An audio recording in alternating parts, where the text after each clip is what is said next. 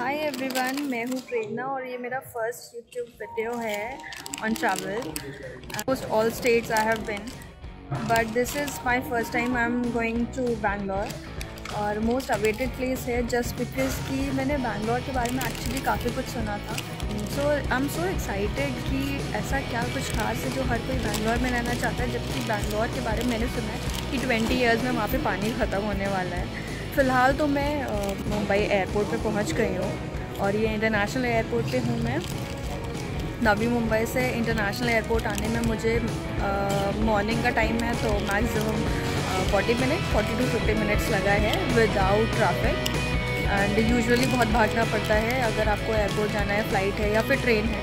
लेकिन हाँ मॉर्निंग के टाइम पे आपको काफ़ी ठीक है ट्रैफ़िक नहीं मिलेगा। आप थोड़ा बहुत इधर उधर कर सकते हैं। और सुबह की फ़्लाइट या ट्रेन मुझे बिल्कुल पसंद नहीं है क्योंकि सुबह उठना पड़ता है पर इट्स ओके कभी कभी चल जाता है, घूमने को भी तो मिलता है। राइट तो मैं आपको एक बार दिखाती हूँ कि इंटरनेशनल एयरपोर्ट मुंबई का लगभग कैसा है।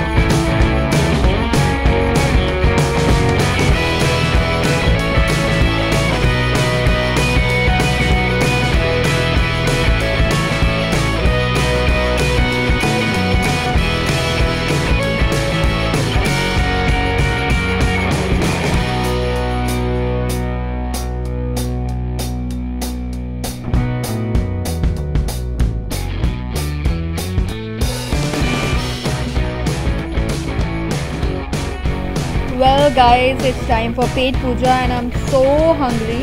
So let's check it out. हमने मॉर्निंग uh, फ़्लाइट लिया है तो हमें मॉर्निंग फ़्लाइट में स्नैक्स uh, जो मिला है वो हमारा वेजिटेरियन है क्योंकि हमने वेजिटेरियन मील ऑप्ट किया था right so let's check it out इसमें है क्या क्या राइट ओके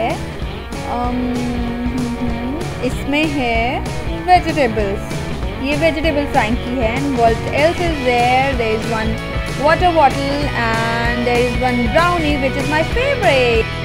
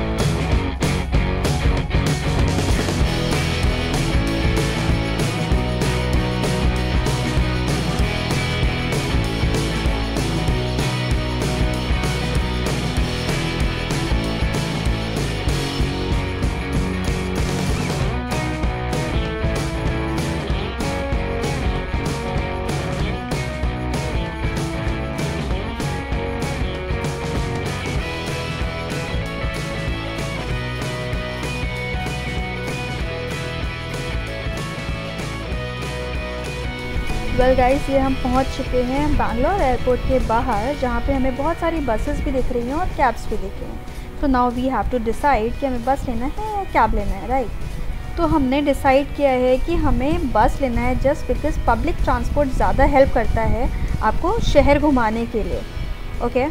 तो हमने काफ़ी कुछ देखा और हमें मारुथली जाना था तो मारुथली का फेयर हमारा फाइव हंड्रेड रुपीज़ पड़ा है बस का।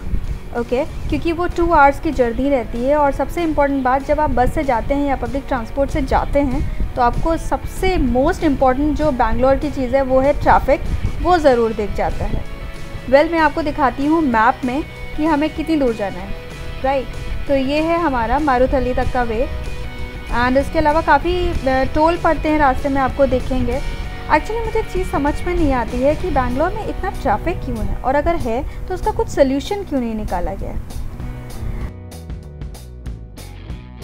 Guys it's time for shopping पता है कि हम बैंगलोर पहुँच गए और बैंगलोर में लोकल चीज़ें ना खाई शायद बहुत कम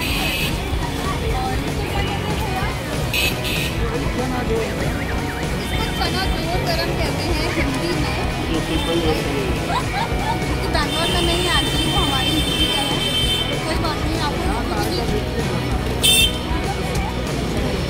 इडली डोसा है यहाँ का राइट बट बहुत ही टेस्टी बहुत ही है और हमें यूपी की याद दिला रहा है so back to commercial street commercial market देखिए देखिए हार्ड कोर बार्गेनिंग होती है, जैसे दिल्ली या फिर मुंबई में होती है. फ़ैशन मार्केट बाकी जिस एरिया में मैं खड़ी हूँ वो आप